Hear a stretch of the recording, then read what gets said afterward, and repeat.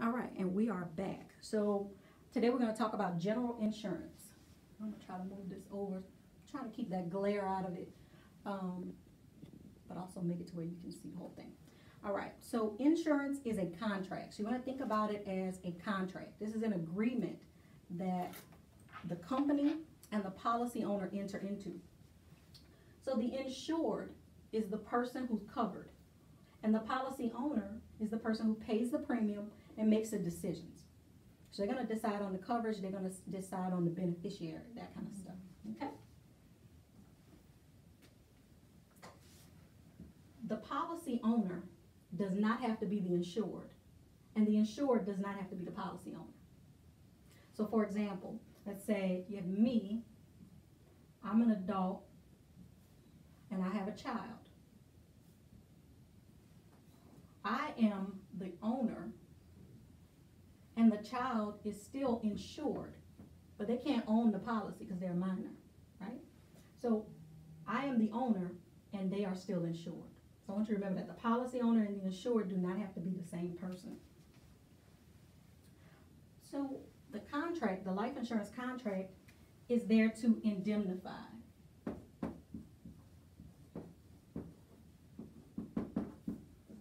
To indemnify means to make whole.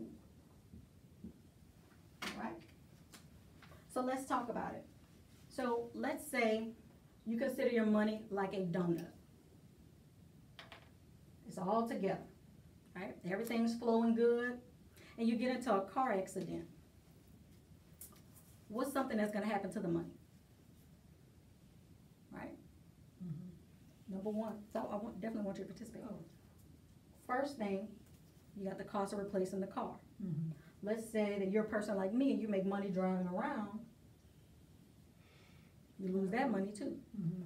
Or, um, health issues and having to pay doctor bills, you lose that money too. So your money is no longer whole. So that visual really helped me to think about what indemnify really means. Because the company says if you lost, uh, let's say you were insured for a hundred thousand, and you lost ninety thousand, they will make you whole again. They only give you back what you lost. They're not giving you more than you lost. Okay?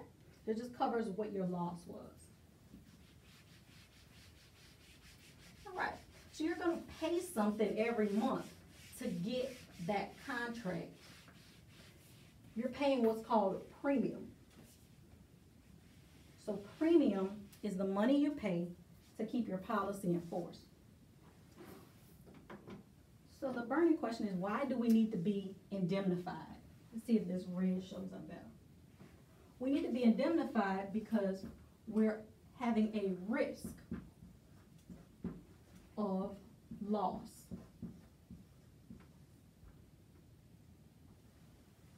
Okay, so that loss could be, in the case of property damage, it's a fire causes the house to be burned down. Where's the loss? It's in the burned house. In the case of life insurance, you have death that causes the loss of income to a family, for example. Because that's what the insurer brings home. So it could be a loss of income, it could be a loss of someone to leave the business. So in this case, death or fire or flood, those are the peril. Peril, P E R I L, equals cause of the loss.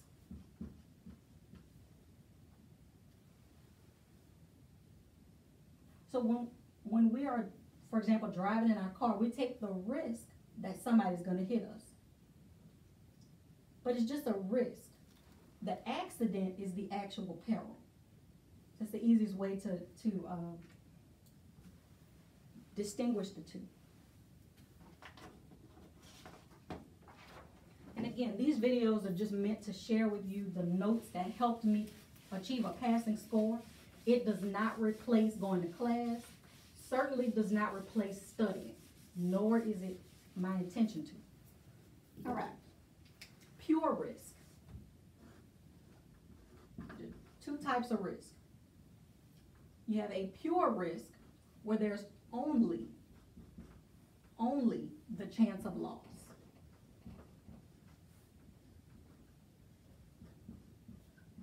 That's a pure risk. So there's only the chance that you're gonna lose money. Then you have speculative risk. Just like it sounds. If somebody's speculating, they're not sure. Speculative risk, you have chance of loss or chance of gain.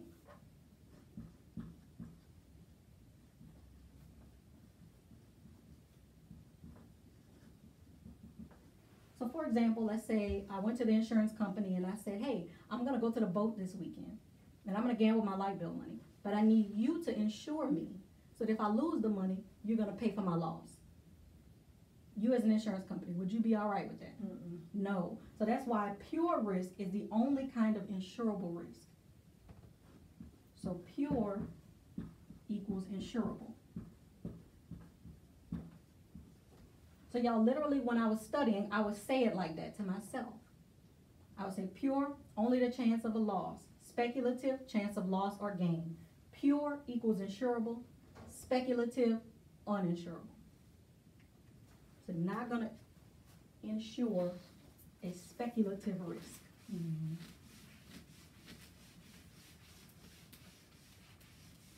So there are certain things that increase the chance of a risk.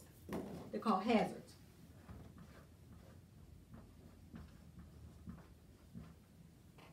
Hazards increase chance of a loss occurring. All right? So for example, let's say you have um, somebody who maybe recently went blind. So they're not used to being blind yet. And they run down the steps and there's something on the steps. They're more likely to trip than somebody who has seeing eyes and runs down the steps. And there's something on the steps, right? So on your test, it'll uh, say something like blindness is what type of hazard? It's a physical hazard. All right? So blindness is a physical hazard. Let's talk about uh, somebody who commits fraud. If an insurance company looks at somebody's life history and they say, man, you've been arrested for fraud so many times. Wow. We're not sure we want to take a chance on you. That's a moral hazard. So, fraud is moral. Here's how I always think about moral hazards no morals. So when you look at your test questions, if it's something that somebody with no morals would do, it's a moral hazard, right? Then you have morale hazards. Those are, uh, for example, texting and driving. Does that necessarily make you uh, evil or you intentionally did it? No. No, right? That just means that you were careless. And what are those called? Hazard, The, what type of hazard is this last one you described? morale is a morale hazard. Next to morale hazard, Yeah, careless. Okay? So if it's a physical hazard, it has to do with a birth defect, blindness, something physical. If it's a moral hazard, it has to do with no morals, not having morals. And if it's a morale hazard, it's about being careless. Mm-hmm. All right? So it could be somebody putting on makeup in the mirror and driving. Anything like that is considered a morale hazard.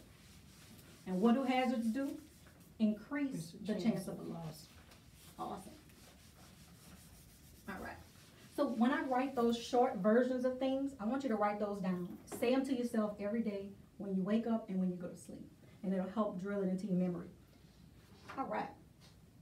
So we talked about peril. Let's talk about ways to handle risk. So methods of handling risk. S T A R. R R. Let me move this down sure why my iPad stand is beginning to lean like that. Hopefully y'all can see this. S T A R R, star, okay? So these are methods of handling risk.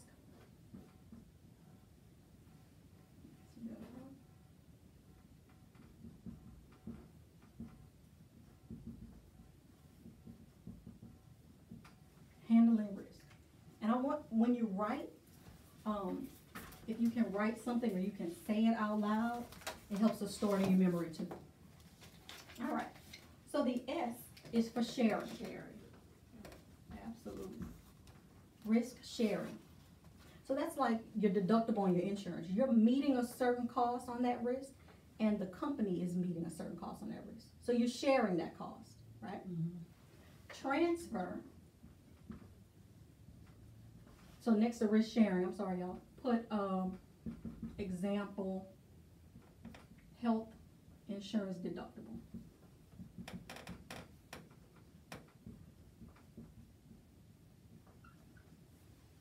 Okay? Health insurance deductibles. A transfer of risk is insurance. So, for example, with car insurance or life insurance,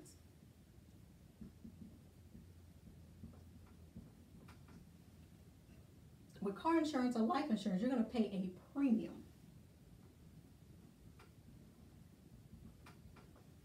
Okay? So it's just like this. Let's say this eraser is my dependent. I'm holding on to the dependent. I take care of the dependent. If something happened to me, what happens to the dependent? Right? There's nothing to hold on to, nothing to take care of it. So by transfer, you want to think about how you pay the, the premium to the company, right? If something happens to me, boom, It catches the dependent. normally that works with my cell phone. Um, but it catches it. So that's a transfer of risk.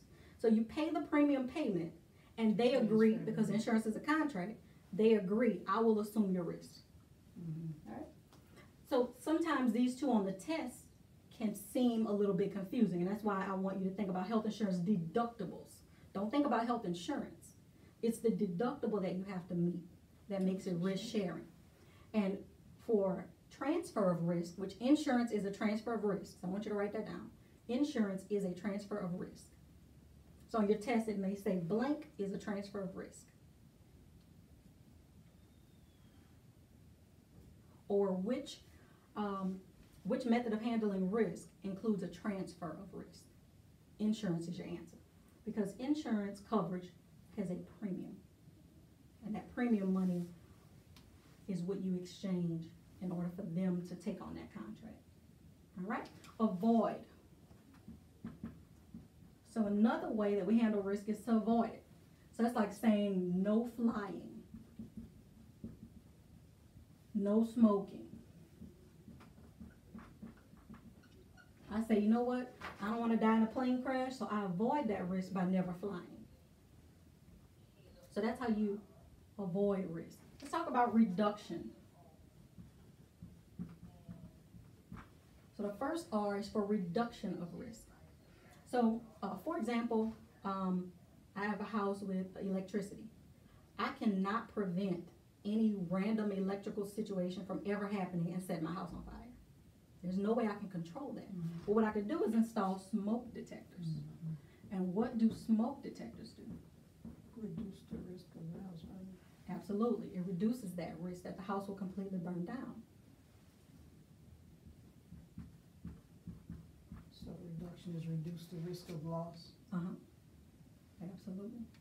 So anytime reduction of risk, it's always gonna be something that reduces the risk. And then retention of risk. So, uh, you may see like pregnant women will say things like, I'm retaining water, right? If you're retaining something, that means you're holding it. So retention of risk means I, I am prepared to take it. Hey, let me Hey. talk. What's up? Hello. How much? Hey, So it would be like, I have